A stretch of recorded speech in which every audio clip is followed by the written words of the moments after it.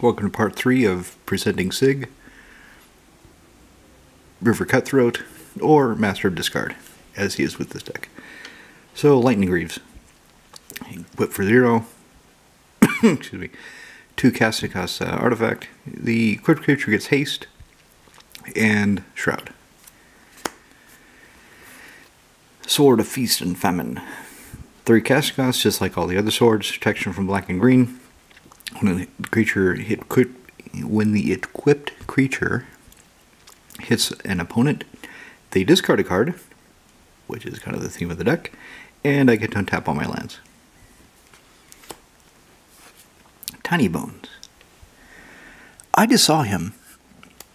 So when I was looking through Magic Card Market, I thought, hey, this looks cute and cool. So two casting costs, one colorless, one black, for a one-two skeleton rogue, legendary creature. At the beginning of my end step, if an opponent discarded a card this turn, I draw a card and I lose one life. For six, each opponent no cards in the hand loses ten life. I haven't played him yet. Uh, I've not played this deck since the group kind of died, so I don't really know how he's going to work, but uh, I'm curious to try, eager to try. Counter spell, counter target spell. I should get the L.A. Williams Ice Age art. What's funny is you've heard me ramble. You've probably picked up on a lot of the cards I have to read, my own cards, because I forgot exactly what they do. But a lot of them, I know the artist. so, under the artist lines, on a good number of these, better than the cards themselves. Command Tower, add black or blue to my mana pool in this deck. So, free dual land. Thief of Sanity. So I opened this in the draft. I don't like draft. It's just not my thing. But I did agree to do a draft, and I got him out of it. So that draft was worth it for me. Because, uh, oh yeah, he's foil. So, 3 mana for a 2 2 Flying Spectre. Whenever he deals combat damage to player, look at the top three cards of that library, exile one of them face down, then put the rest into their graveyard. For as long as a card is exiled, I may look at it, I may cast it, and I may spend manas or mana of any type to cast that spell. And yes, I, I did have to read the card because there's a lot of text, and I didn't remember exactly precisely what it does. I didn't. Sometimes I have to read the basic lands to know what they do. Consecrated Sphinx. I love Consecrated Sphinx. I don't like the um, Scars of Mirrodin art. Don't like it at all. So when this came out, I thought, yes, I have to get one of those. I have to replace Consecrated Sphinxes. I had two at the time. And so Sygg got the Amonkhet Invocation Consecrated Sphinx. Uh, of course, he's a 3-6 flyer.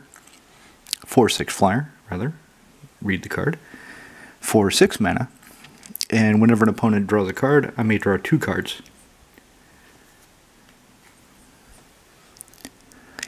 I, I do see why people don't like these.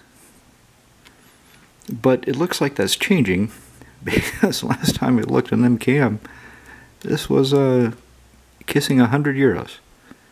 So they're becoming popular. Unfortunately, I only have one Invocations copy. So if I sell that one, uh, I won't have another one. And I do love it. I like it because it's kind of weird in the deck. Okay, anyway, Rogue's Passage. Add one of my mana pool. Four tap, target creature becomes a blocker until end of turn. Noetic Scales. Now this is another one of the key cards in the deck, and this is why um, my creature power, barring equipment, tops out at 6. So at the beginning of each player's upkeep, they return to their hand all creatures with power greater than the number of cards in their hand. So it fits Sygg's discard theme perfectly. Hey, uh, you're down to three cards. Well, looks like you get to pick up your Craterhoof. Well, actually, that would be bad for me if they picked up the Craterhoof Behemoth, wouldn't it? Okay, that was a bad example, but the first one to come to mind. So, Noetic Scales.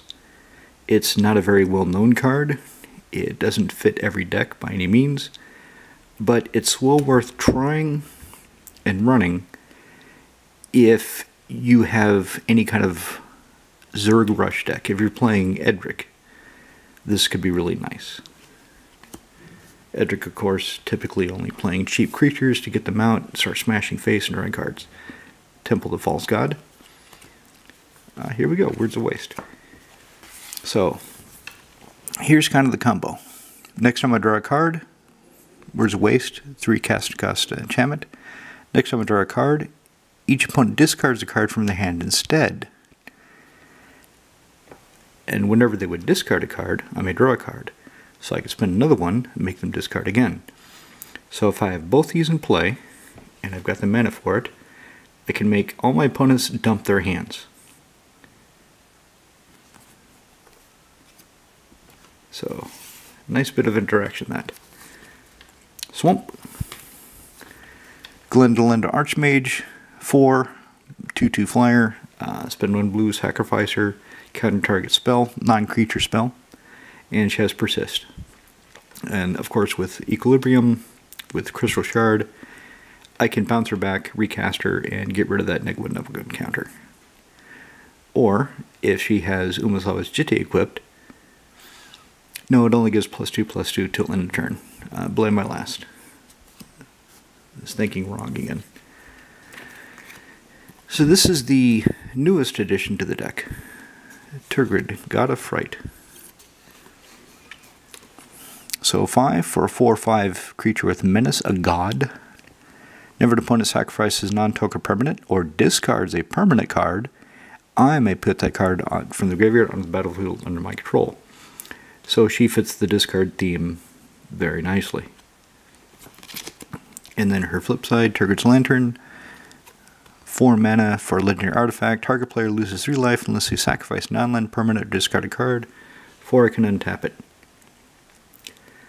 I don't expect to be having it uh, in play as a lantern really ever. it's one of those cards with a mode that just uh, uh, doesn't matter, but the other mode, Tergrid, she fits the deck nicely. Perfect for the deck. Swamp. And last card, Liliana Spectre. 3 mana for a 2 1 flyer. Never enters the battlefield all of my opponents discard a card. And that's it. That's my Sygg EDH deck. Sygg Master of Discard.